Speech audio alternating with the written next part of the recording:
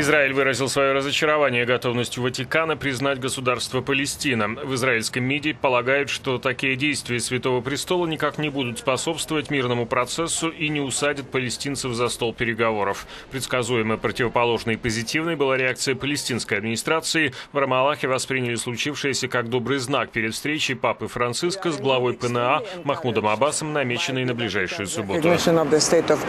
Мы воодушевлены признанием Ватиканом государства Палестина Палестина. Нам это представляется позитивным развитием ситуации не только политически, но и нравственно, по-человечески, в юридическом смысле. Такие шаги готовят новую эру для Палестины, свидетелем которой станет весь мир.